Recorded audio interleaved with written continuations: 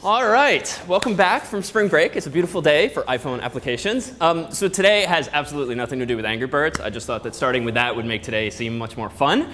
Um, but it is about iOS and about continuing last week's conversation about introducing this coming month's project, which will be your first of two iOS-based applications. Um, I'll try, since it's been a couple of weeks, for some, a couple more weeks, I'll try to um, pepper the group here with some questions so that we can all get back onto the same page as to what some of the concepts are that we've been exploring, as well as uh, what some of the new ideas for today and onward are. So without further ado, we're back in this MVC world. And MVC stands, of course, for Model View Controller, but in English, in a sentence or so, what does that actually mean? Okay. Plus one for me.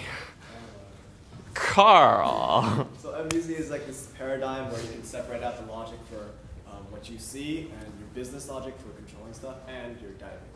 Okay, good. So it's this paradigm for model for uh, designing software in such a way that you separate your views, your controllers, and your models, which are defined respectively as the aesthetics are the views, uh, the v, uh, the models are your databases or just your data sets. Even though we used MySQL or the like for previous projects, realize that model can really model anything. It can be an XML file, can be a CSV file, it can just be some generic data that's hard coded, but it provides the abstraction that your data is coming from this real world entity or this representation of some data source. And then finally, the controller is sort of the brains behind the whole operation that talks to the uh, models to get some data and then pushes that same data or some transformation thereof to the view. So he's kind of the middleman. And generally, you should not cross these boundaries. So this is taken from Apple's own documentation, and you'll see different depictions of MVC on the internet depending on the language and the context. And sometimes you will see lines connecting view to model, but generally that's uh, a bad thing. Generally, all communications should be routed through the more intelligent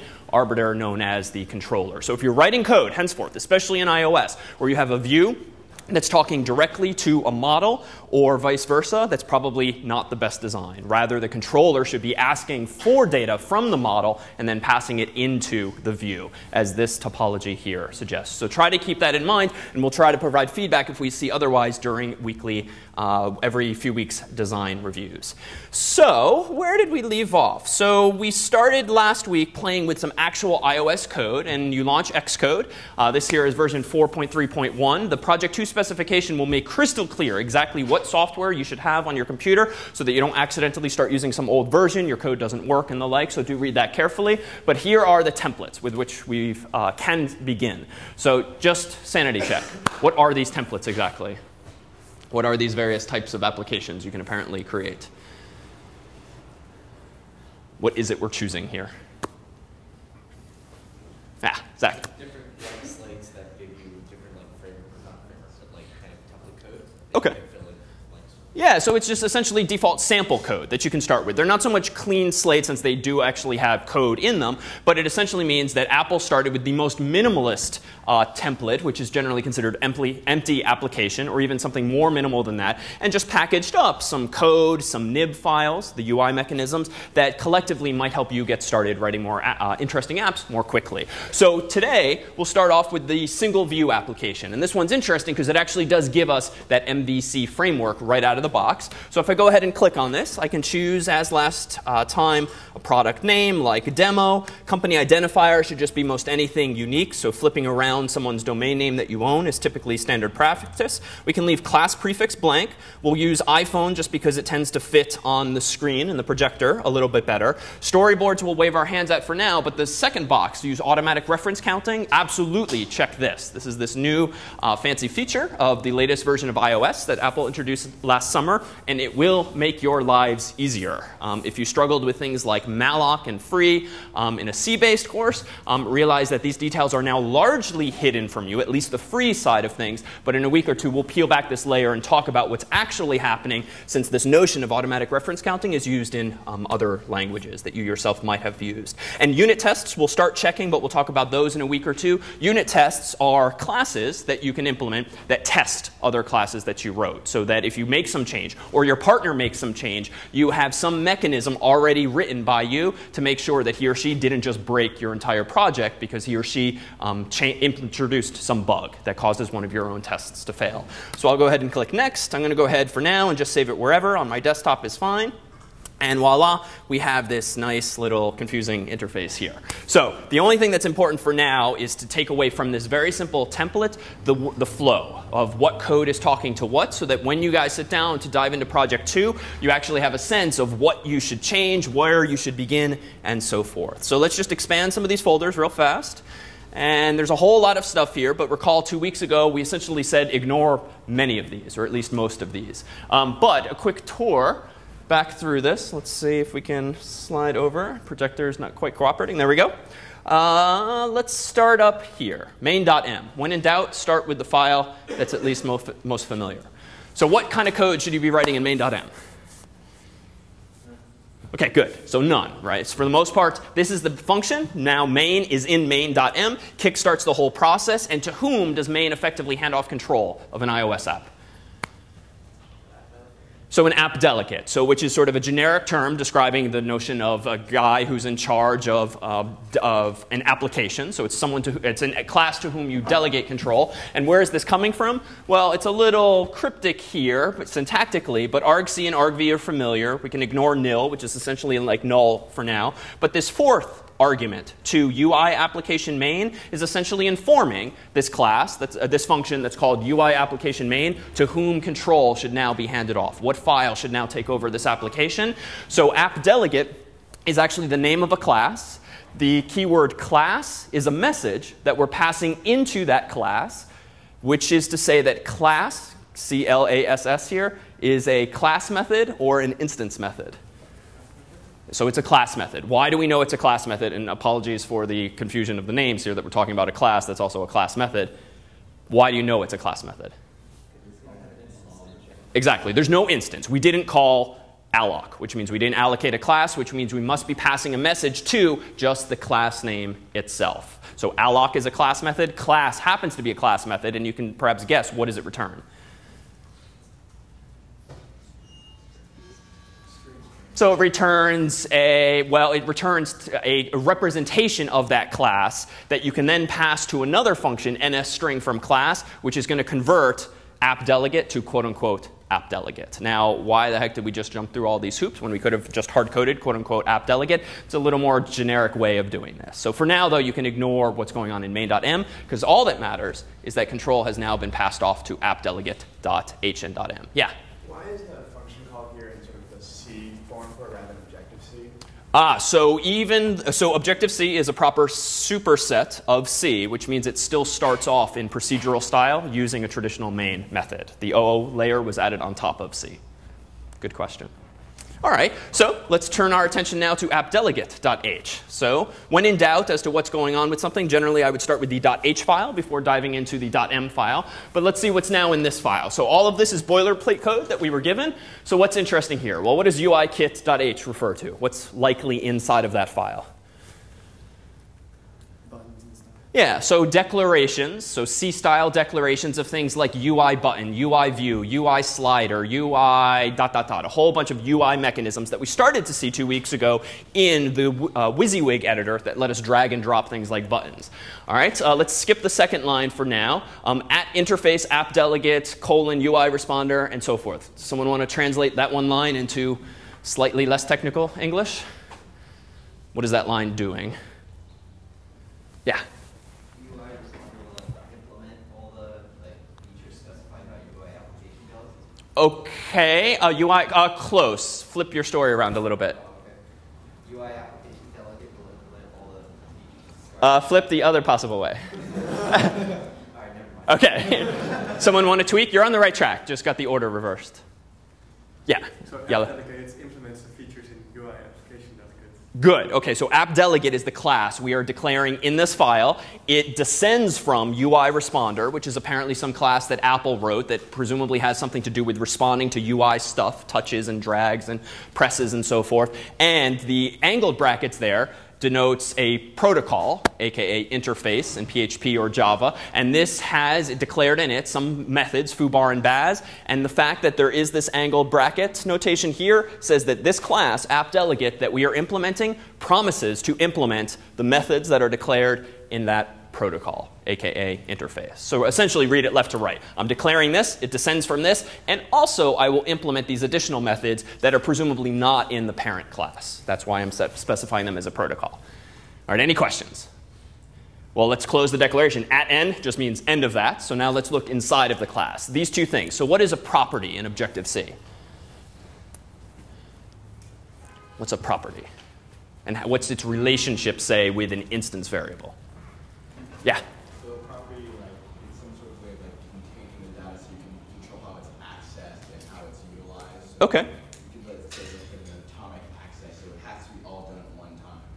Of other things. Okay, good. So to summarize for camera here, a property is essentially like a wrapper for an instance variable. And an instance variable, meanwhile, is a piece of data that's inside of some object. And it's a wrapper in the sense that you can control how that piece of data is accessed and also set by way of the creation of things that are generally called getters and setters or um, accessors and mutators, which no one really says, but every textbook says it.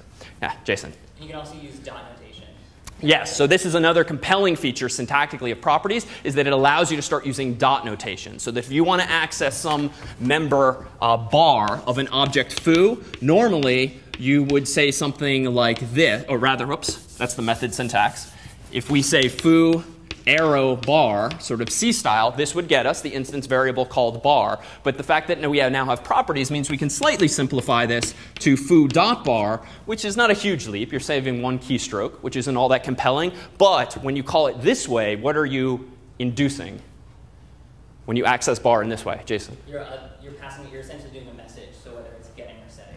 Good. So you're actually invoking the method. You're passing a message known as bar to this, which is invoking the getter in this case. Or if we happen to have an equal sign over here, then you're invoking the setter. And the setter, by convention, has to be called what? For an example like this. Set and then uppercase of the instance variable name. set bar. So this is a, a convention in Objective-C, and you can override these defaults, but generally this means your getter should be called bar and your setter should be called set bar. All right, so back to the story at hand. So we now have two properties here. One is called window, one is called UI controller. So let's take a look at this one. UI window just refers essentially to the rectangular glass. So the, uh, in this template, you have some pre-configured code and a pre-configured nib, an XIB file, which is the user interface, and somehow Apple has pre-configured you with a pointer called window that's apparently going to point to the actual window on the screen so that you can actually control it and put stuff there. Strong and non-atomic, we'll come back to strong, but this somehow relates for now to pointers. Non-atomic just means that you're not writing multi-threaded code here. If you actually said that this is an atomic property, Apple or Xcode would add some additional source code to the getters and setters so that you're accessing this variable bar or window atomically. And long story short, that's just not necessary. And if you haven't taken 161 or 61 and aren't quite familiar with atomicity or threading, don't worry, we'll come back to that, um, but not in much detail in this class. All right, and how about this one here? View controller. What is a view controller? Yeah, Dan. Good, very good. It controls the view. All right, so what does that really mean? So this is the C in MVC. Apple slightly confusingly calls these things view controllers, but it's just controller, really, um, but specifically a controller that's designed to operate on a view. And this pointer is going to be the mechanism via which the app delegate, recall, which is the class that at this moment in the story is in charge of the application, is somehow going to further pass control of the application onto code that you wrote. So this is an oversimplification, but generally you won't write much code in your app delegate. Most of the code that you write, certainly for project two, will be isolated to your own view controllers, your own models. If it's the app delegate that ultimately hands control off to something that you really have written yourself. And that's an oversimplification in that we'll see in a second. There are some methods in app delegate that you yourself might want to implement, but those relate to things like backgrounding and force quitting and the ability to actually save really important state before the user hits the home button or turns off the phone or something along those lines. So any questions about this M file? Do speak up. No dumb questions. If you're confused now, the rest of the class is not going to be that useful. Anything at all.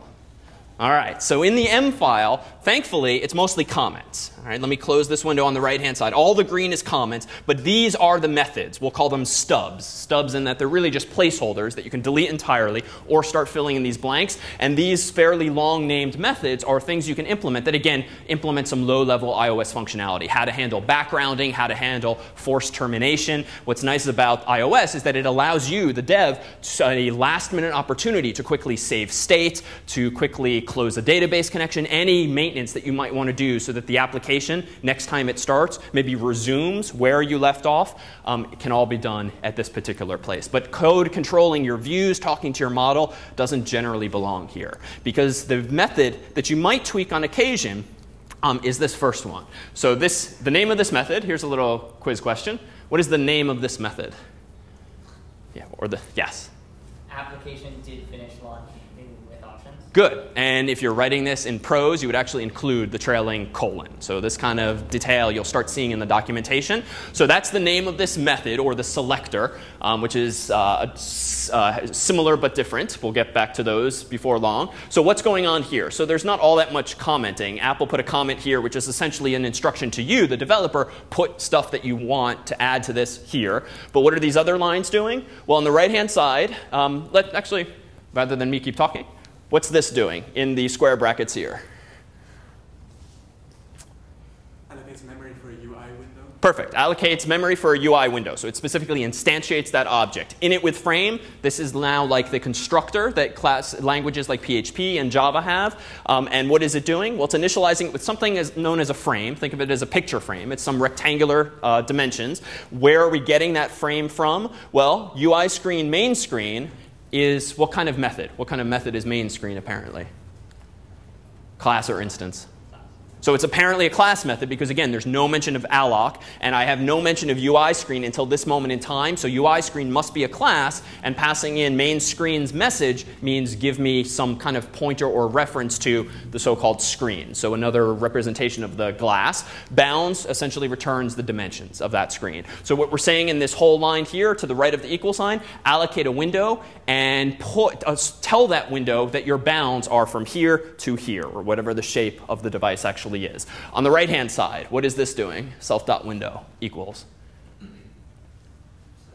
So it's setting the property called window inside of self, my app delegate object, to that value. But more specifically, the dot notation in the equal sign means what method is getting called or what message is actually being passed. Jason?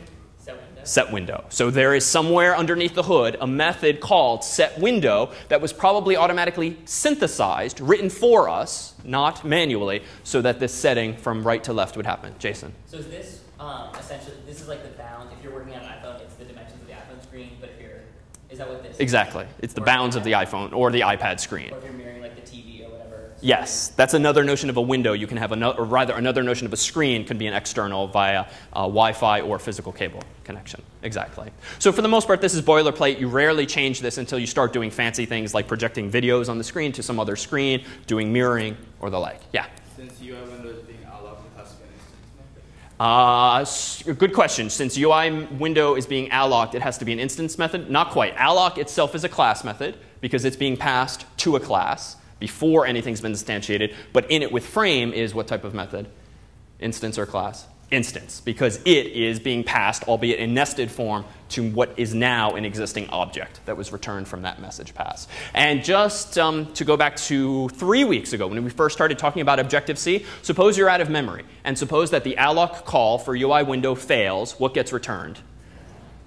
So nil gets returned. So this seems bad, right? In 50, one of the most common causes for bugs, especially around pset6 time, dictionary, is seg faults, right? When you're dereferencing bogus pointers. But that's not going to happen here. What happens if you nonetheless call init with frame sort of blindly on what apparently could be nil? What happens? It ignores the message. So this is a huge value add of this notion of nil as opposed to null, in that if you pass messages to nil, things won't crash, they will simply be silently ignored. And this allows us to eliminate a whole lot of error checking, for better or for worse, and this nesting of messages so that we can just pass and pass and pass irrespective of whether we get back nil. We can check for nil, in fact, at the very end if we really want to, uh, if self.window itself is nil. All right, so moving on, view controller. So this is essentially the same story, but the instance method we're now calling to initialize what's apparently called a view controller is init with nib name. What's a nib? Yeah. So it's a user, it's a file containing a user interface. It's the WYSIWYG stuff that we saw two weeks ago. Underneath the hood, it's implemented with a file extension called XIB. The useless history there is that it used to be Next Step Interface Builder, NIB. When the tool became Xcode, it became XIB, but you pronounce XIB nib. So, for historical reasons. All right, so what, else, what is going on here? This is now assigning a pointer to self.viewController to whatever code it is, apparently, that I am going to now write in this application, in the thing that's actually called viewcontroller.m and .h. Um, this next line here, root view controller gets self view controller. So apparently, inside of a UI window, there is a property that's called uh, root view controller, and it does what it says. This is a property that should be set to whatever view controller should kickstart the whole application. Who should be now handed control of this application? Make key and visible just means make this the key window, which means start responding to uh, finger touches on the screen, make it visible is obvious, and then I return yes, signifying that all is well. So rarely should you need to touch this particular code, at least for uh, initial applications, but realize that's what now hands control off to you. All right, any questions? All right, so what actually, the last files we'll care about then are in these here, viewcontroller.h. Phew, not all that much here. This simply says, um, Kevin, do you want to take a stab at this here? What is this declaring? Um, sorry. No, I'm not picking, just feels like now we'll come full circle. There's a instance called viewcontroller which extends or like its parent is UI view controller, so it Good. um, will inherit the properties that are specified there. Perfect. So I'll tweak one word. Instead of instance, we're declaring a class called viewController that does everything you just said, that inherits all of the instance variables and methods of a parent class called UI viewController. Perfect. So by default, this template gives you this framework, but it doesn't put anything in there. We can put whatever we'd like in there. In the M file, there's similarly not all that much going on. These are mostly just stubs, and view did load is the method that's going to be called when this view controller's view comes into the screen, comes into view, um, and view did unload is when it disappears. So what does this mean? Well, when you load up an iPhone application that has a UI on the main page, it's going to, that's the notion of the view being loaded. And this method gets called as soon as you see something on the screen. If, however, you hit a button and that screen kind of flips around like this, or it drops away, or something goes on top of it, iOS reserves the right to reclaim all of the memory that was being used by that view, at which point view did unload might be called. So this is to say that views in iOS are very fragile. They are meant only to present information. They should not be used to store information. Any kind of information like high scores that are on the screen or the state of the game that you're playing on the screen should be displayed through the view, but you should absolutely still have copies of that information. The high score, whatever the state of the game board is, or whatever it is you're implementing should be stored where else besides the view in, in the model, right? Or maybe some of the data is actually uh, currently remembered in the controller, but they should not be stored only in the view. This is to say that as soon as you change screens, all the hard work you just did assembling the UI might be thrown away. So you have to be able to reconstruct it the next time view did load is called. And again, for an iOS app, think of like the stock application, the clock application, any simple application that has a button that then changes the screen to look completely different. That might mean that everything you previous saw is evicted from RAM. It's pushed off the stack altogether. All right, so there's really nothing else of interest going on in here. So let's actually go back to an interesting application that does something. So recall that we left off at the very end of class before break with this application. So let me go ahead and run it with Command R. We're going to go ahead and see a little simple ATM that looks like this. All right, so a little bit of review then. What was an IB action?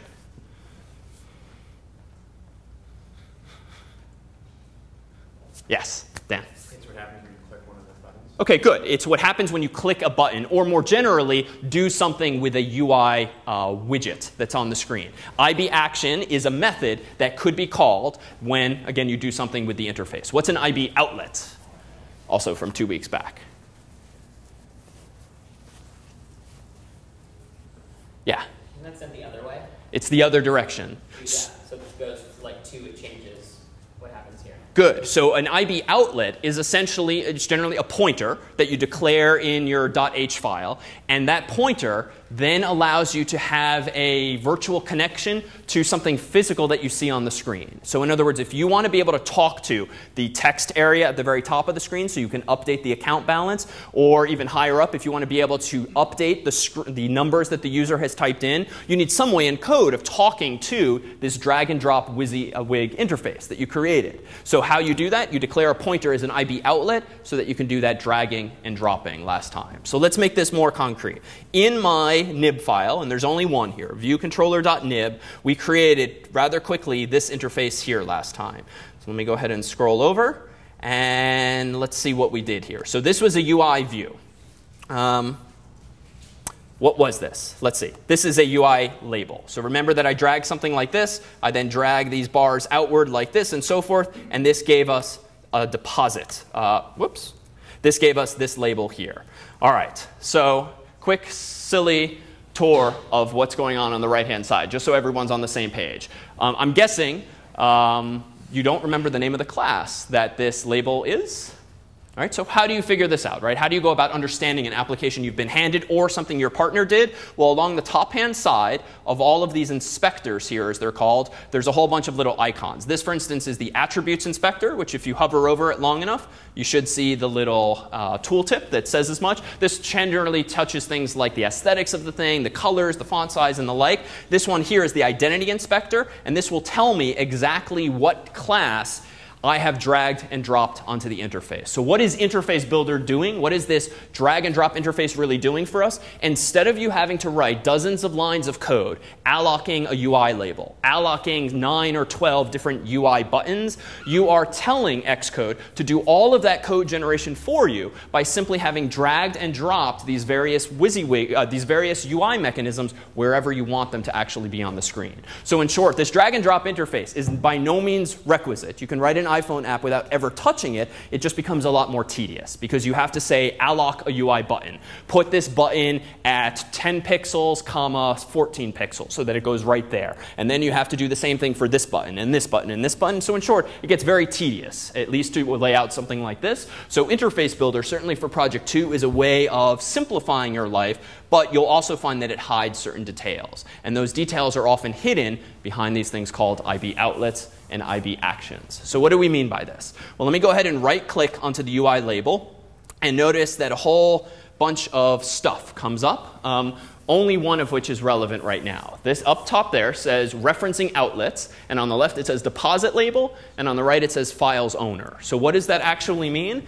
Well, let's scroll over to the right-hand side of the interface here and notice that anytime you use Interface Builder, this drag and drop interface, you always get mentions of files owner, first responder, and then a list of objects, everything you've already dragged and dropped into the interface. If I go ahead and right click uh, or click once on files owner and then look over to the right at that same identity inspector, who owns this nib file apparently?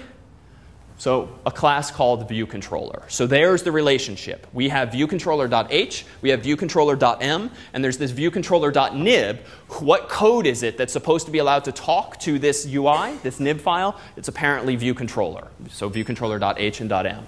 So now on the right left-hand side, what is the file's owner? It's the view controller class. So if I right click here, there's actually a whole bunch of complexity here at the moment. And we see things like balance label, deposit label, which may sound vaguely familiar from a couple of weeks back, and then all of these digits, all of these buttons. So rather than dive back deep into this ATM that we've implemented quite qu uh, quickly, let's start off with something that's much simpler. So I'm going to go ahead and close this, stop tasks, which means just kill the simulator there. I'm going to go ahead into Xcode, uh, create a new single view application. I'm going to go ahead and call this one nib1 for version 1. I'm going to leave everything else checked as we did before. I'm going to go ahead and save this on my desktop. And now let's go ahead and do the following. So this is the story we started telling with the template before.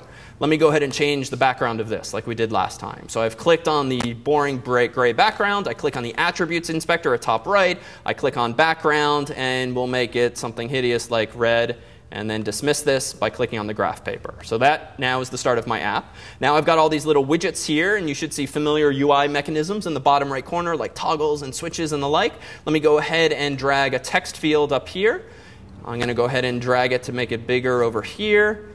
I'm going to go ahead and make it bigger over here and then I'm going to go ahead and put a button. So I want to make a fairly simple iOS application that allows me to type in my name, then I click go, and it's going to say hello to me. And through this simple application, can we start wiring together the UI with our code and vice versa, so that then we can go back to the ATM and in turn Project 2 to start building more sophisticated tools altogether. So I'm going to add some simple little placeholder text here in the attributes inspector. So now it says name. So it's a little more clear as to what's going on. All right, so what do I actually want to do next? Well, in nib1, and let me play along in a manner consistent with code that you can play with after. In nib1, let me go ahead and declare a couple of things in my view controller. So let me go over to my view controller.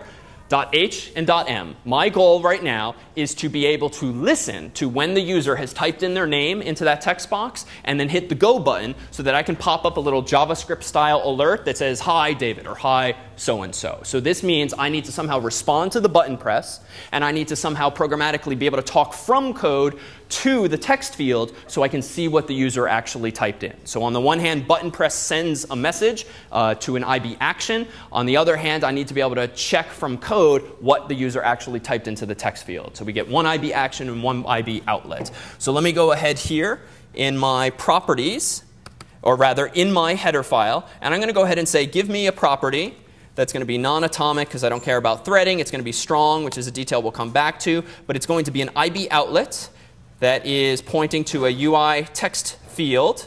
And this text field will be called, say, text field. So in other words, this is a pointer that I'm putting in code that's going to allow me to talk to my GUI, specifically the text field up at top. All right, next I'm going to say, you know what, this same class, view controller, has to have a method that's going to get invoked when the user touches that button. So I'm going to specify that it's indeed an IB action, which means this is a method that might be called because of some GUI interaction. I'm going to call it simply go, and I'm going to say that it takes a pointer to a generic um, object called sender. So recall that ID is like void star. It refers to some Objective-C object. And we'll just generically call it sender to be consistent with IB actions. All right, so now I actually have to implement this stuff. So let me go ahead and copy the declaration here, go into my M file. I really don't know or don't care about these methods right now, so I'm just going to delete that. I don't need this because this is just placeholder code. So let me further eliminate this. Should auto rotate to interface orientation, I'm going to leave that alone. So by default, this will only support one orientation. I'm going to go ahead and paste this in here. And now I have to implement the functionality that's going to get executed when the user touches that button. But first, let's go back to my nib file. So my nib file is already ready to go. Got my user interface. I've got the beginnings of my source code. Now I have to have these things somehow talk to one another. So I can do this in a couple of ways. I can either right click on files owner and I see this. Notice now that because I declared uh, text field, it now appears in this list. And there's nothing connected to it. Notice there's no gray shading. There's no filling in the circle on the right-hand side. There is some stuff here. View, I didn't do any of that. That was handed to me by the template. But the fact that this says text field means I can somehow link these two. Similarly, if I go over here and right-click on name, notice that I see a whole list of possible events that can get triggered as a result of a user doing something with a text field. And the only one I care about is going to be related to did end on exit or edit, some notion of editing having happened. So I'm going to go ahead and do a bit of a leap of faith, and I'm going to hold Control and drag from that text field to files owner, and this little blue line happens as by default. If I let go, I then see a list of the things that I can connect this to. But here I've gone in the wrong direction.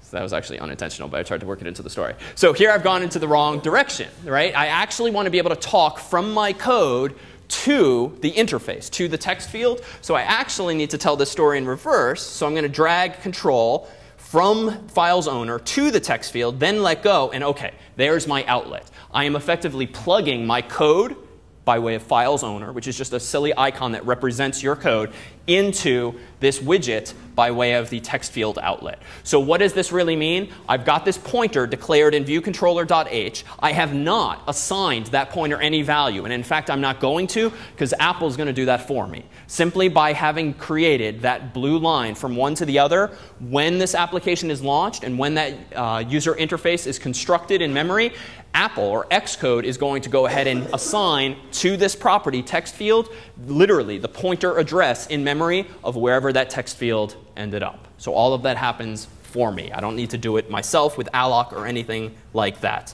So now if I go back to my nib file, I also want to do something with go. So when the user clicks go, I'm going to hold control again, drag to files owner and let go. What events do I want to send? Well, go. So I want to go ahead and say when you touch that button, go ahead and trigger the method go. So now let's do a quick sanity check. In my M file I had to do for a, mo a moment ago, let's go ahead and do nslog and I am here. So just a little sanity check before we actually do something here. Uh, method. Oh, and we actually need to do this at synthesize. And how do we go about synthesizing that text view property? Well, recall that we did this and then we specified go ahead and back this with an instance variable called underscore text field. So that line there is what gives me the getters and setters that makes the property work. As an aside, why the underscore and the equal sign? What's the point of this? I could ignore that altogether and just say this, and the getter and setter would be synthesized. But what does this do for me? So now it doesn't set it as private per se, but it does create an instance variable called what? Underscore text field. So this is again just a human convention. It's just useful in your code to be able to distinguish private instance variables from actual method names and the like. So this underscore convention, and do use one, not two, which is generally reserved for the compiler, simply is a visual cue to you and your partner that this is some seemingly private instance variable that should be accessed probably via a property. So just a convention. All right, let me go ahead and run this now. And the simulator pops up. Let me go ahead and open the debugging window by clicking this icon on the bottom. And let me go ahead and click go. And voila, my code did in fact get executed. So now let's make this application more interesting than actually just having uh, this little silly NS string. So let's go ahead and do this. First, I want to go ahead and show an actual alert, sort of JavaScript style. So I'm going to declare an NS string. Star S gets NS string. And we're going to go string with format. Um, it can get a little confusing with the autocomplete, but most of these methods become familiar over time. Let me close this window here to give us more room. So string with format, I'm going to say something like hello, comma, at, uh, let's say, whoops, percent at, and then exclamation point, close quote, comma, self dot text field dot text. So what is this line of code doing? We've not seen quite this line before but take a guess as to what it's doing. Left hand side, sort of C style, we've declared a pointer called S to an object of type NS string. What's going on on the right hand side? Carl? Oh, um, Don't stretch. It's just making a string with the formatting uh, where you plug in the text field's text into the percent at place. Okay. And then it becomes a string hello, whatever the text field is. Okay, perfect. So NSString is again a class, which apparently implies that string with format is what kind of method? Instance or class method? So it's a class method. And this is what's generally known as a convenience method, which is something that does alloc for you, so you don't have to do alloc and then an init. So string with format creates a string, sort of like printf with that formatting. Percent at means put an ns string here, not a char star, and then comma self dot text field. Well, what? Why did I say dot text at the end? Why would this be wrong? Perfect. So self dot text field would induce the getter for that UI text field object. And we don't want to plug an object into the string. We want to plug the actual string. So just like in JavaScript, you have DOM elements that have dot .value properties. Similarly here is their dot .text, which literally returns a string representation of whatever the user typed into that string. Now take a guess. Why is Xcode yelling at me with this yellow triangle for this one line of code, which is syntactically correct now? Yeah? Exactly. It's a warning, not an error. It just means I haven't actually used S. So let's go ahead and use S. I'm going to go ahead now and declare a UI alert view, which is kind of like a pop-up, as we'll soon see. I'm going to call it alert, a pointer there too, and then I'm going to assign it the result of calling UI alert view. I'm going to go ahead and alloc one of these objects, and then I'm going to go ahead and init with title, and this is going to be messy briefly, quote unquote hello. Then I'm going to go ahead and say a message of S. Then I'm going to go ahead and say a delegate of nil, and I'll clean this up in a second. A cancel button title of quote unquote thanks, and a cancel other, uh, rather other button titles of just nil. All right. Uh, what did I miss? Uh, there we go. Thank you. Whoops. That's why it was all messy there for a second. All right. And then here, done. Okay. So it got a little messy there, but we can line, what's wrong here? Delegate here. So this Xcode does this for you. Notice how all the colons line up? That's an attempt to make it more readable. Um, what is the name, as an aside, of this method? Um, this name of this method is init with title, message, delegate, cancel button title, other button titles, colon. That's the name of this method. All right, so what's actually going on here? First, let's go ahead and spoil the results and actually see this thing in action. I need to call one other thing. I need to say alert show. Now I have hopefully a working application. So let me go ahead and rerun this. Let me go ahead and boot this up here. Let me go ahead and now click in the text field. And notice by default, it pulls up the keyboard. That's default behavior that you get for free by using a UI text view. I'm going to go ahead and type David and click go and hello David. So what's inside of this alert view now? So notice the title is indeed hello. The button that's going to cancel this thing just says thanks. And then we have some kind of placeholder here, which is literally plugged in that value. So what's going on over here? So UI alert view is a class. We've allocated an object uh, using this class method. We're then calling what's effectively a constructor with a whole bunch of arguments. One of which is the title, one of which is the method we want passed, uh, the message we want to display. A delegate we'll come back to. A delegate we'll see is an object that's going to be informed when I click that thanks button to dismiss it. So you have this way of actually listening for events after you've pulled up something like this. Cancel button title is obviously that button string, and then other buttons title, if you wanted to have an OK or cancel, those kinds of buttons, you can embed them with a comma separated list right there. All right, so any questions about what we just did here?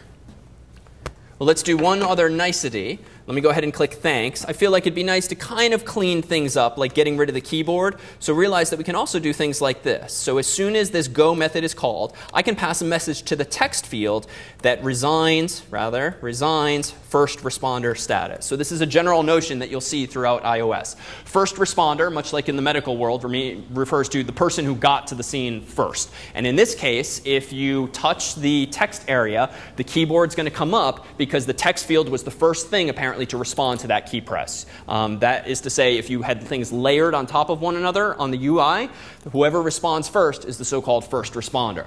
If I pass this message called resign first responder to the object called uh, text, uh, text field, that's going to send it a message saying, uh-uh, there's nothing to see here undo whatever you just did. And what did it do? It triggered the keyboard to come up. So now, by responding, resigning first responder status, if I recompile and rerun this, I'll actually see that the keyboard should, which is slightly aesthetically more interesting, now goes away. So another example of passing a message, this time uh, involving the notion of first responder status.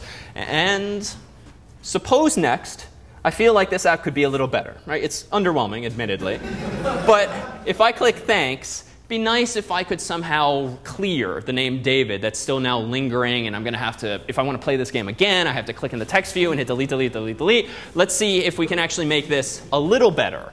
So I somehow want to be able to listen for the user touching that button so as to respond to them subsequently by clearing the name David automatically. So I need to tweak one thing here. I'm going to go into my H file, and I'm going to say, you know what, rather than just declare a class called viewController that inherits everything from UI viewController, you know what, I'm going to go ahead and promise to implement a UI alert view delegate protocol.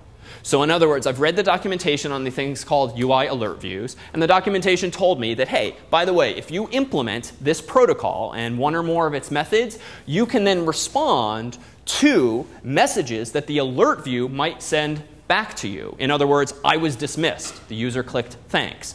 So I have to specify that I'm uh, going to implement that protocol, and then I just need to implement one other thing. Let me go ahead and actually hold option, and I don't remember what the syntax is, so I'm going to hold option here. I'm going to click on this thing, and now notice a little pop-up comes up that reminds me what this thing does. Uh, here's the reference, so let me go ahead and click that, and it should open the documentation.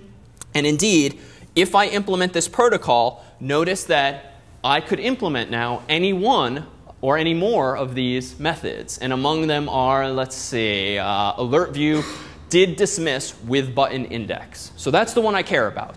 That is the message that if I implement support for will be passed to me saying the user clicked thanks. The user dismissed that alert view. So let's go ahead and just see a little more detail. Let me click on that in the documentation. And sure enough, it just confirms that. So it tells me that if I implement this, I have to pass in a pointer to the alert view. I have to pass in, or rather, I will be passed a pointer to the alert view object, and I will be passed an NS integer, 0, 1, 2, 3. If you had a UI alert view that had multiple buttons, like OK and cancel, you'd be told this is 0, this is 1, this is 2, and so forth. This tells me exactly what these are uh, doing in more detail. So let's go ahead and try to implement this. Let me go back to my H file. I've definitely declared that I'm implementing this protocol. Now I'm going to go into my M file, and I'm going to implement only that one method. It's an instance method according to the documentations. It's void. It's called alert view uh, colon, and now I have to pass it, uh, rather I have to declare it in exactly the same way. So let me go ahead and do UI. Let's go ahead and just copy paste. Let's go here. All right, let's go back into here. Paste that in here. UI alert view, did dismiss with button index. Put this here. All right, and just as a sanity check, we'll do the whole nslog thing again. So nslog at, whoops, nslog at here, save. All right, so let's now do this. Run, stop, run. And here we go, very exciting. Let's open up the debugging window so we can see the amazing new feature. Go, and then thanks, and I screwed up. All right. Uh, what's that? Oh, yes. Perfect. Thank you. So another example that was not meant to be part of the discussion, but it's a good pedagogical trick. So what did I do wrong? So according to Tommy, um, the key actually is in, or sorry, oh no, RJ, my apologies. so as RJ noticed, we've forgotten to inform this uh, object, the UI alert object, to whom it should send this message once that button has been clicked. And indeed, when I first implemented this very long name method here, or rather called this very long name method, notice that for delegate, I said nil. But in fact, if I am implementing this response inside of myself, using UI alert view did dismiss with button index, I can't just say that there's a nil delegate because then a message is going to get passed to nil, nothing's going to happen, case in point, per the demo. But if I instead want that message to be passed to me, I simply say self. And recall that self is like this in PHP or Java. So now let me go ahead and recompile, rerun this code, and now hopefully that message should get sent to me. I'll open the debugging window in the background, type my name, type go, all is well, and then thanks and there. It's actually called this time. So how do I actually now do something that's more interesting? I can do self dot text field uh, dot text gets nil, and this will essentially clear the text field. So now if I rerun this application and I type in my name, then type go, and then thanks, notice, watch the name David, it has now disappeared. Very amazing. I'll make this available for download after class. Let's go ahead and take a five minute break. When we come back, we'll look at ATM and then project two.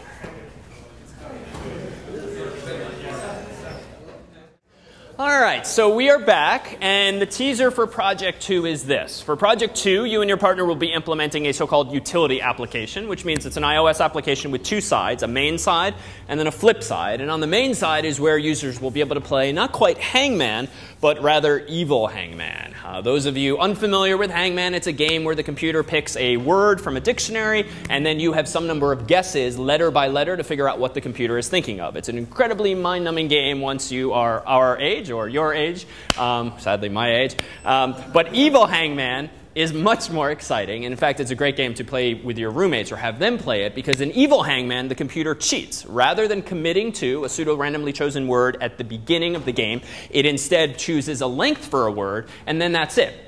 And then it looks at its dictionary of all possible words, thousands of words, and the user proceeds to guess a letter, like the letter E. What does the computer then do? It then scours its dictionary, eliminates all words that actually have the letter E in them, and says, nope, there are no E's in this word.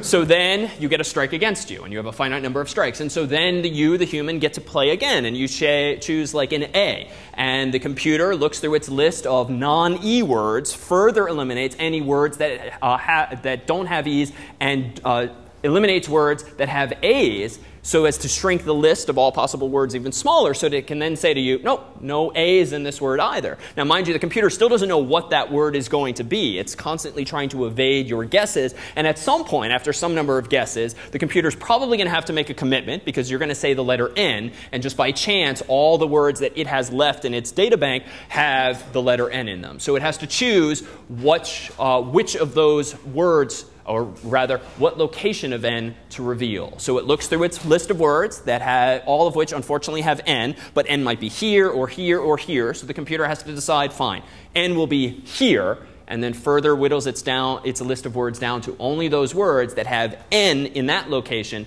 but no a's and no e's. Now, meanwhile, the tick that's um, the clock is ticking and you're guessing wrong, guessing wrong, guessing wrong. So odds are you, the human, are going to lose. And indeed, when you actually see this game played and watch your roommates' reactions, the word almost always ends up being something ridiculously obvious, like puppy. It's just so, such that you never actually guessed any letters that were in such an obvious word like puppy. And that's simply because the computer is evading, evading, evading. So it's a great way of making your roommates feel really stupid when playing your uh, CS164 project.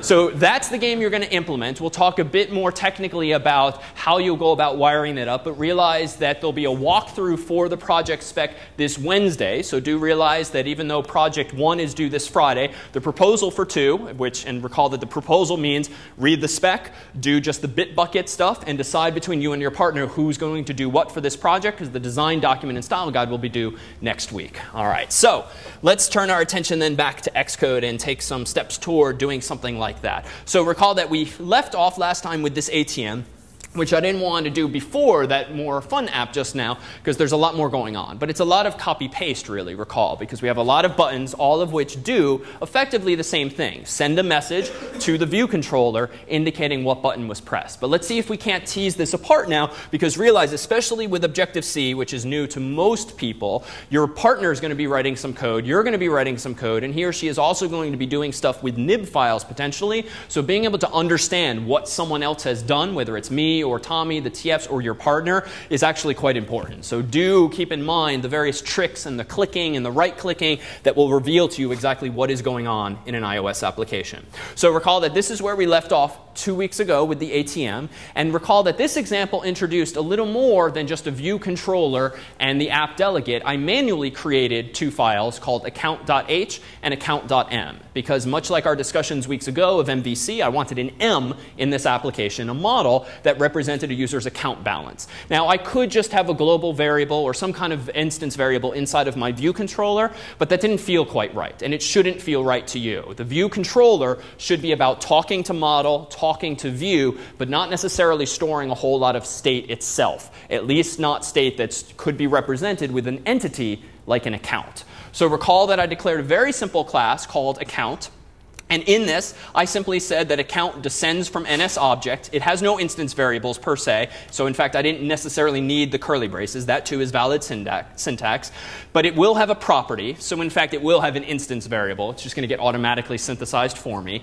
And I decided that an account, in the bank sense, has a balance. And it's going to be unsigned because I don't care about going negative. And I want it to be a 64-bit number. So I said long, long. And then I specified that it's a property, non-atomic, and a sign, again, for now, a sign we will almost always use with primitives like longs, um, whereas we used strong earlier with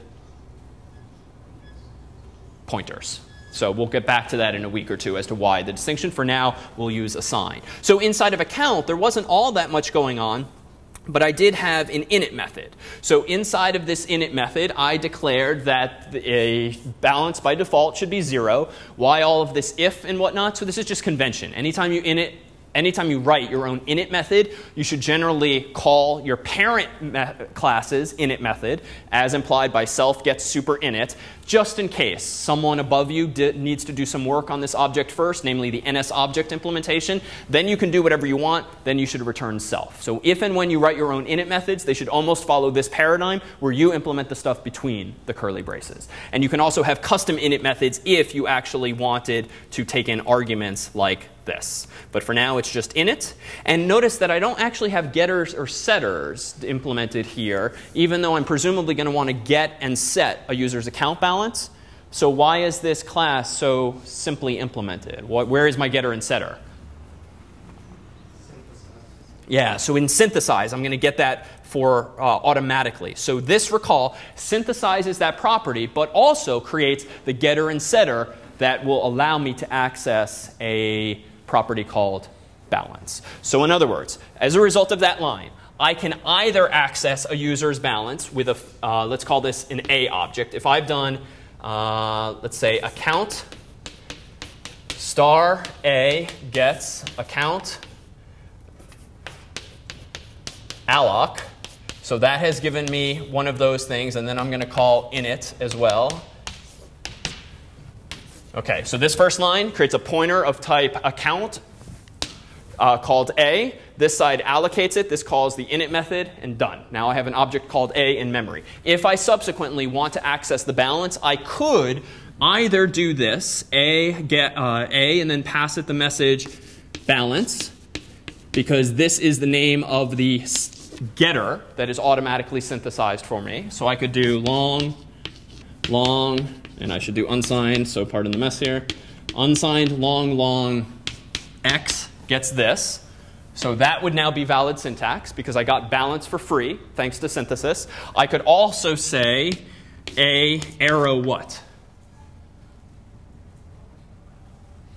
Arrow notation is used in a structure or an object to get at its instance variable. So what's the instance variable here called?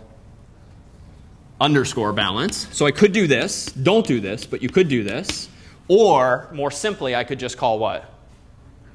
A dot balance, which is the preferred way these days. Even though you're incurring some slight function overhead, just as you are here, this is the habit to get into according to convention and best practice.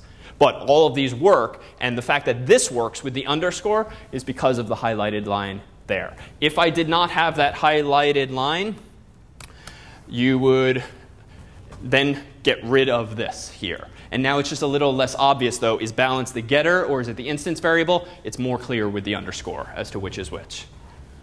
Yeah, Carl. This, yes, is identical to this. It's just, this is syntactic sugar. It's just easier and cleaner to read and write than that. Perfect. Okay, so thus did we introduce in this ATM a model. Similarly, in project two, are you probably or will you need to implement one or more models to represent, in the case of project two, a strategy? And the project spec and the walkthrough will walk you through this. You're going to have to implement for Evil Hangman not just the old school uh, strategy for playing hangman, where you actually pick a word at the beginning and then you stick to it. You're going to have to implement an alternative strategy, the evil strategy, and both of those will be model classes that are presumably going to have methods that say things like, uh, that have methods that you call when you want to find out what the, what the response should be to the user. User guesses n, you pass an n to this model's method, it's got to return yes or no, is it there, or something along those lines. But again, more on the spec and more on the walkthrough as to the particulars. All right, so this was the ATM. Let's take a quick look at the app delegate. There is nothing interesting here. This is essentially the template code, but I added some comments and cleaned up the white space. In appdelegate.m, Similarly, there's nothing new here. I simply cleaned up the white space. I deleted all of the stubs that I wasn't going to use anyway for backgrounding and all of that. And this notice is identical to what we talked through earlier in AppDelegate. So there's no magic there. In viewcontroller.h, there is some stuff going on. So this is stuff that we did write two weeks ago. So let's reverse engineer how this code actually works. So assume it was, say, written by your partner. So we apparently have a few IB actions. An IB action, again, is a method that's invoked as a result of some user interface interaction. A button press, a pinch, a swipe, something like that. IB action actually is not some new return value. This is actually a little preprocessor trick that Apple did. So notice these are instance methods, but IB action is not a return type. In fact, IB action is a type def for, if you think back to your C days, void. So literally, there is just a line of code that makes IB action a synonym for void. So this means the compiler doesn't know or care what IB action is. Rather, what Xcode is doing is Xcode itself is skimming any code that you write. Anytime it sees an IB action, it makes a mental note to itself to make sure that the name of that method appears when you click, drag, and let go. This little gray drop down menu of possible methods that you could invoke is simply there because of those little visual hints that you put in your code. So it's, like, it's similar to type hinting in some languages. This is just a GUI trick, and the compiler doesn't even know what's going on ultimately. All right, so this is viewcontroller.h. Let me put that back to IB action, otherwise it would not appear in that dropdown, which would make it hard to wire up. Show, meanwhile, is just a method that I wrote to clean up my own code, so I'll wave my hand at that for now. But now let's take a look at IB actions and these properties. So I need inside of my view controller a pointer to an account. So again, view controller is the C in MVC. This is the controller. I have a pointer to a model of type account. So here is one of those arrows from the diagram we keep putting up when we talk about MVC.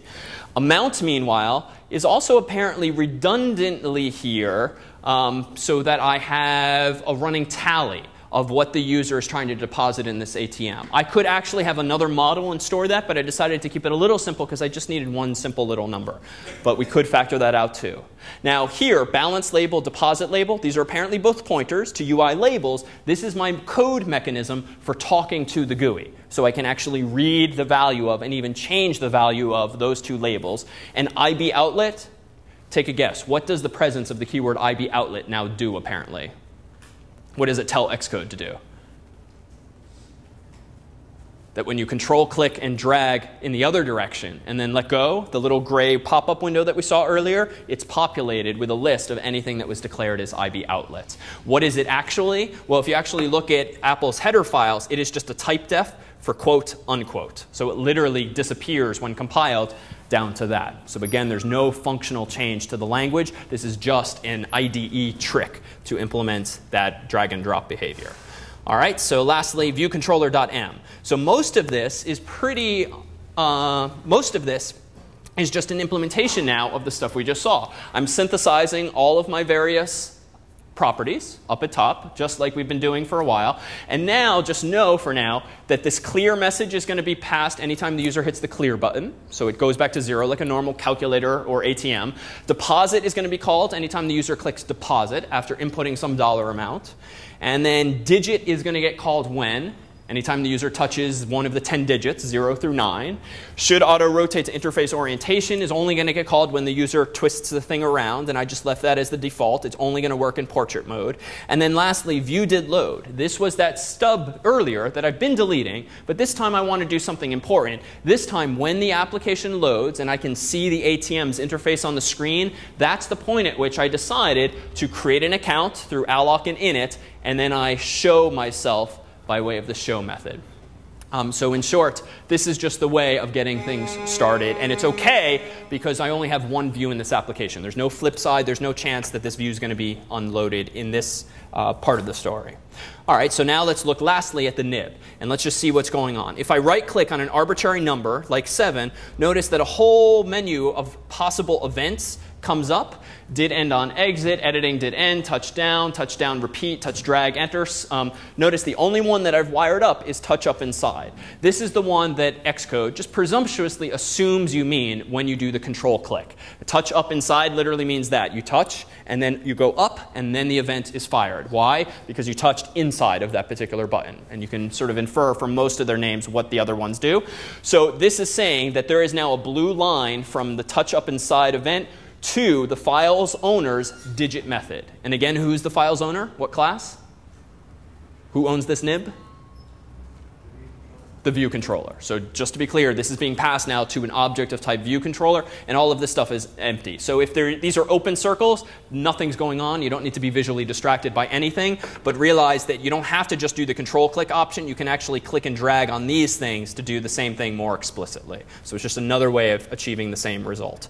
Conversely, if I now look at the file's owner, I see different things. In fact, a whole bunch of things now. So outlets, I've apparently control clicked from left to right so that my balance label property, aka pointer, points to literally whatever that label is. Apparently, it just has the dollar sign right now. Deposit label pointer points to this other label, which just says deposit right now. View I got for free just by using this initial template. And now these actions all refer to IB actions. Clear is going to be called on this object when I touch up inside the clear button. Deposit is going to be called when I touch up there. And digit's going to be called anytime I touch any of these available buttons. And that's just induced by the dragging and dropping. And if I accidentally screw up, suppose I accidentally delete delete 9, the 9 button will now not work in my application, but that's fine. I can just zoom out, control click from 9 over to file's owner, and remap it to digit. And that will put it back into the list. So that leaves one last pile, this .m file's actual implementation, which we skimmed over a second ago. So why does clear work in the way it does? When I click clear, it's supposed to reset the UI to $0. So how does that work? First, I do self.amount gets 0, and that is, again, the local instance variable or property that's keeping track of the running amount in the screen. Self.show is going to call my own show method, which for now, it just cleans up the UI. Assume I factored out some code because I found myself copying and pasting a bunch of stuff. Deposit, meanwhile, does this. Self.account, this is my model, dot balance, the, the model's balance property gets incremented by self.amount, whatever the dollar amount there is. So to be clear, there's a duality here. Self.amount is the controller's own long long that represents the current balance. Um, it's not the string that appears in the view. I have my own copy of the raw number. Then I'm going to go ahead and clear self.amount and then reshow the UI. Why is this? Well, when you type in like 100 and then click deposit, I want to change the top part of the screen back to zero, but update the account balance in the ATM itself. And then lastly, digit is the only one that required a little thought as to how to do the math. So in digit, this is the method it's called anytime you hit 0 through 9. So I've apparently first cast the sender to a UI button. Why? Well, anytime you define an IB action, convention says to have it accept a pointer called sender to an ID. And I'm saying pointer, but you don't need the star if it's an ID. So you accept an argument of type ID. But if I actually want to do some button specific stuff, I'm going to go ahead and cast it, sort of C style, to a UI button star. But I know that this is correct because I did the wiring myself. I know the only thing calling this method is going to be a button. Then I do self.amount, which is the total amount being displayed on the screen, equals self.amount times 10 plus b.tag. So b.tag, recall, is a special property on a button that I hard-coded. 7's button is 7, 8's button is 8, and this was just so that I had a machine-readable piece of data associated with each button. And what's the point of this times 10? What is that doing every time I type a digit into the UI? Yeah, it's effectively shifting the numbers over grade school style to the left by multiplying by 10. Tens place becomes hundreds and so forth. And then lastly, the show method. This is again the code I just factored out. I, anytime I want to update the UI, I now need to check what is the actual value in these long longs, and I need to convert those numbers to strings, and I'm going to go ahead and use these string convenience methods that we've played with a couple times. LLU is unsigned long long, albeit reverse order there. And that's about it. So the end of result is that when I run this code, I get a little ATM-like interface that by default has 0 at the top. If I first type in 164, notice with each key press, I was calling the digit method, which was times 10, times 10, times 10, and adding the new value. And if I go ahead and click clear, it's going to call the clear method, and nothing happens. State gets restored. If I do it again and click deposit, this time I'm going to do the math and add it to balance. So balance on the bottom gets updated, top gets cleared back to 0. But this, is, of course, is not perfect. If I do 5,000 sort of brings back memory of CS50 or whatever your first course was. So it's not perfect. We still have issues of overflow. None of that is hidden in Objective-C unless we use special wrapper classes. But um, indeed, the functionality now is all wired together. So what were the key takeaways here? So one, it's a much more involved application than that first one where we just displayed my name. But two, it also introduced a model, which is something you'll want to do for project two. And now we'll take a look at one last demo, which is just a utility application, which is the template from which you should begin. So I've created a new Xcode project, utility application. I'm going to go ahead and click OK. I'm going to go ahead and call this project 2, even though we won't actually implement it. You'll see in the spec, we tell you exactly what to check here. I'm going to go ahead and click Next, save it wherever on my desktop for now. And now I get a default uh, template that's mostly the same to the single view that we've been using, but there is a little more. What's the first thing that jumps out at you? Out at you? Flip side. All right, so when in doubt as to what something does, let's just run it out of the box, see what happens. It should at least compile and run. So now I have my what's called main view. Doesn't do all that much, but notice the little eye icon. What's nice in this template is that out of the box, you already have an application that's more interesting than anything I've written thus far. All right, so how is this all working? Now, and just to paint a picture, the idea behind Evil Hangman is that when you run your program for the first time, you'll see the game's interface there. And we describe in the spec what it means to represent the interface. It doesn't have to be graphical, it can all be textual, but you'll have a button for new game and so forth. And then also an, a button for settings, much like this little eye icon, because you want to be able to control a couple of things. When you, in your project, click the settings icon, as represented here by this eye, you'll see the flip side view of the application. And there you're going to have two sliders, one of which specifies how many guesses the user should get when playing this game, and the other of which specifies the length of the word that you want to play with, whether it's one letter or 26 letters. And then there's going to be a third control, a toggle switch, that has the user turning evil on or off. And that will govern then the behavior of the actual application. I click done, control is returned to the main view controller. So let's see how this template is actually working so that you have a mental model for starting this particular project. So where to begin? Any such uh, head dives? Well, I would always start with main.m just to make sure all is familiar. And indeed, it's copy paste from everything else, nothing very interesting going on there. In fact, under these other files, there are some things that might eventually be of interest. We mentioned this briefly two weeks ago, but a plist is a property list. This is just a fancy way of saying XML file. And you know what XML is?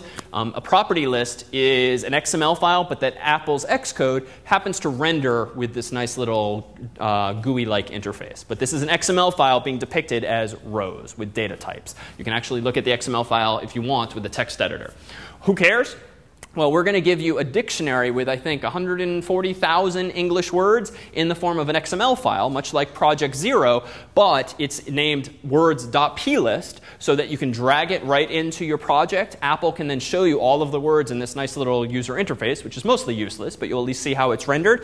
But the upside of this is that now you'll have a chunk of data that gets uh, burned into your application. You don't make, need to make any network calls or anything like that to actually access this data. Um, and you can, if you want, particularly if uh, more comfortable, massage it into some format like SQLite or Core Data or something else, but using a property list will suffice. For today's purposes, know that Apple provides methods uh, in the SDK for reading property lists and iterating over property lists and also writing to them. So you can use property lists as fairly simple databases that are just lists of things or that are even places to store preferences. Indeed, the flip side of this Hangman application, when you change these settings, they have to be persistent so that if you quit the user, uh, if the background, if the user backgrounds the application, quits the iPhone altogether, um, those settings need to be stored. And one of the simplest ways to store things is in XML files. You don't need to use SQL or similar. Yeah. How does plist compare to like a database in performance or Slower. How does it compare performance wise? It's slower because it will be read serially from top to bottom. So with SQLite, Core Data, you'll get uh, more optimizations. But I think you'll find that it's uh, speed wise, especially on gigahertz devices, 140,000 words is not a big deal but there are more sophisticated models you could implement. Um, info uh, plist.strings.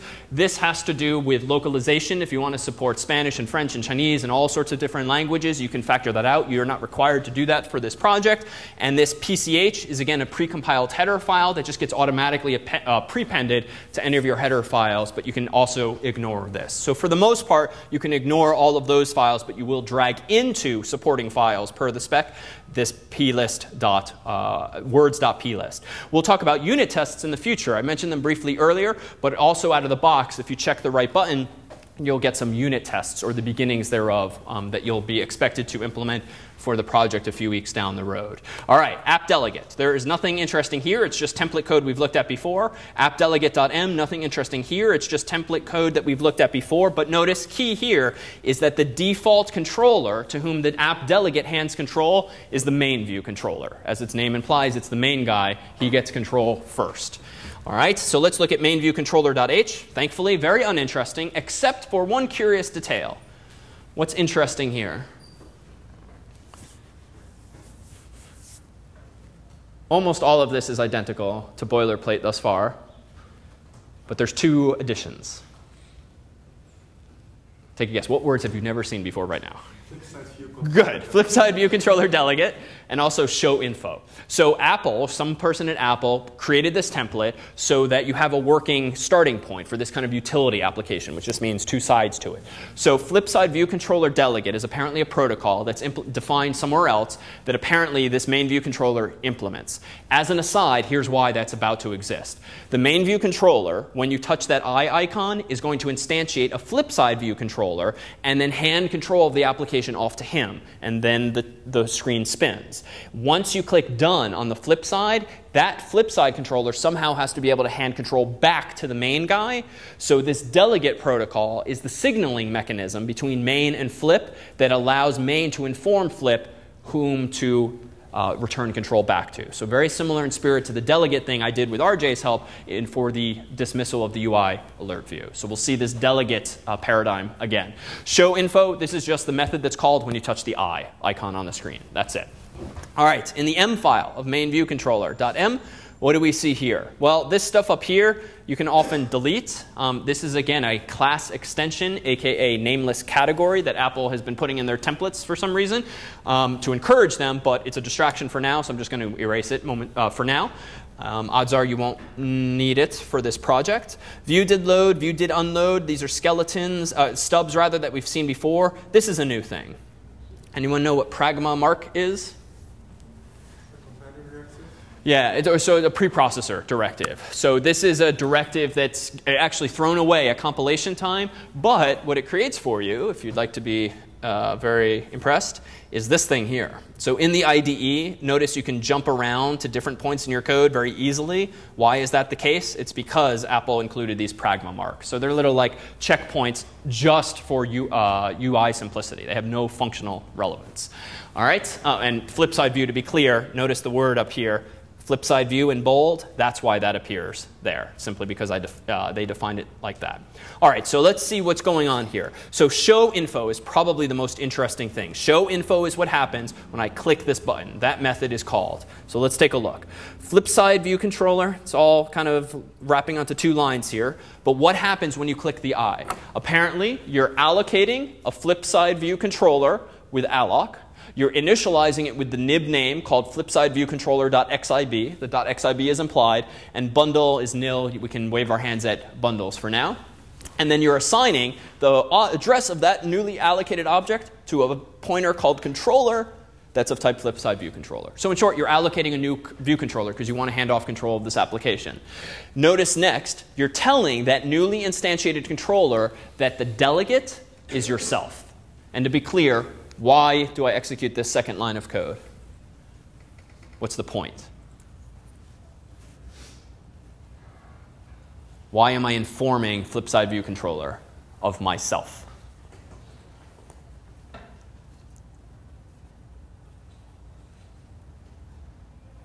So think of it. Hmm, what's that? It's a whole different view. So. It's a whole different view.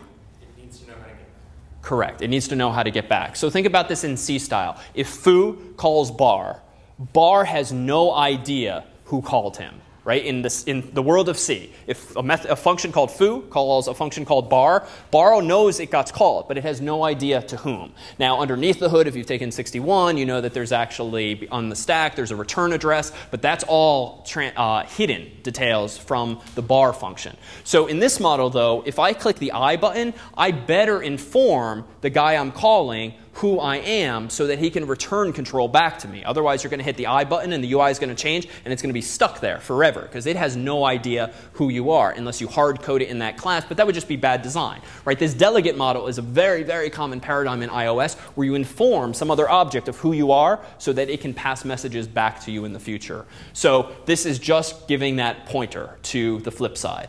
Now, what's this doing? This is where the sexiness comes from. So controller.modal transition style is UI modal transition style flip horizontal. So ridiculously named, but this is an enumd constant that's declared in the SDK. So it's just a number, but we don't know what the number is because it's kind of abstracted away. This is what makes that very sexy iOS transition for me. You don't have to do any of the math yourself. Then lastly, self present modal view controller controller animated yes. So what does this mean? A modal in UI design means what? What's a modal window? This exists in the world of HTML and CSS too. Yeah. Uh, so often, transparent background, but that's not what characterizes it per se. A modal window is one that, yep, Zach? It's often a pop up, but that too is sort of incidental. It's a window that requires your interaction to the exclusion of anything else that appears to be behind it. So there's the transparency, there's the pop ups, but these are all just aesthetic incarnations of it. A modal means you are forced to interact now with that window you can't still access as by dragging things around the thing behind it. So this makes sense. When this thing flips around, obviously you can only interact with one side of it, so it's modal in that sense. Now, present modal view controller, we can see that this could get very uh, less interesting quickly. If I change animated from yes to no, go ahead and recompile this thing, a lot of the things we take for granted in iOS start to disappear. And yes, this works, but you know, man, isn't it sexier when it flips around like that on your phone? All right, so in short, the show info method is what's called when we click that button. So what does that mean in terms of the nib? Well, let me look at mainviewcontroller.nib and then right control click or right click on the eye and notice that sure enough, touch up inside is mapped to the method called show info. Well, now all that remains of this story, even though this app doesn't do all that much yet, is what's going on inside of the flip side view controller. Well, here's the flip side. I've clicked on flip side view controller nib. Notice that if I expand all of these objects, notice that I see a hierarchical list of everything that someone at Apple dragged and dropped onto this user interface. And I can start tearing this apart. If I really don't like the done button, I can just go ahead and get rid of that altogether, or I can change the wording of it by um, actually changing the type of it with a constant in code or in uh, interface builder.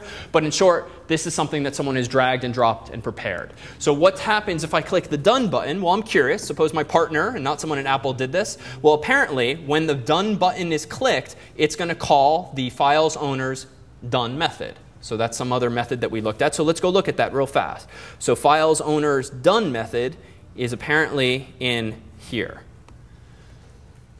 This is in the flip side view controller. I click the done button. The behavior I want to induce is flipping it back to the main view. So what happens when done is called? I call self.delegate. What is self.delegate a pointer to? The main view controller because I, the main view controller, assigned that property before I handed off control to this modal flip side controller. So I'm passing a message to the main view controller. Flip side view controller did finish. So it's intentional that Apple called this method in this way. Think back to the UI what was it? UI alert view did dismiss with button index. So this verb did is very common in this event handling paradigm where you want to signal that something is done complete, uh, executing. So flip side view controller did finish self. Now what's going on there? What is flip side view controller did finish? Well, notice in the header file, that is apparently a method that a class must implement if it has promised to implement the flip side view controller delegate, which was the new word that Yella pointed out earlier was in the main view controller's header file. Recall that in the main view header file, we implemented not just a UI view controller, we also promised to implement this thing. What does this mean? Well, I had better implement, I being the main view control, a method called flipside view controller did finish. That is the method that's called to inform me, the main side, that the flip side is done executing. So if I go into my M file, there it is, and it's super simple.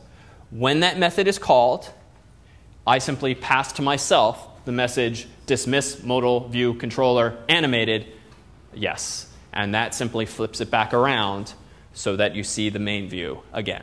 So this is what's key about modals. You can think of the main view controller as literally being the main guy. He is in charge of everything, and if you want to see something else, he will temporarily present a modal, but control will ultimately be passed back to him. How? The flip side will say, I'm done, go ahead and tear me down, and the means by which you tear down the modal is by passing to yourself this dismissal message, dismiss modal view controller. And the animated is just fluffy aesthetics. So again, the key takeaways today are not so much how to actually write these fairly trivial applications, trivial in that they don't do all that much, even though there is a lot of code and wiring going on, but these common paradigms where one object is talking to another, where one object is informing another to whom it should send messages back some number of seconds or minutes later, so that we have fairly loosely coupled systems here, so that main view controller hands off control to flipside, and flipside only knows about its existence by way of that delegate pointer that we installed. And you'll see that just as this utility application adheres to this model, so do a lot of the classes throughout iOS. So in Evil Hangman, you'll have to start thinking about a few things. So one, you start with the utility application. So right out of the box, your thing is going to do this, which is great because it feels like you're making progress. You can burn that onto your phone, show your friends, and you just have to finish implementing the game after that.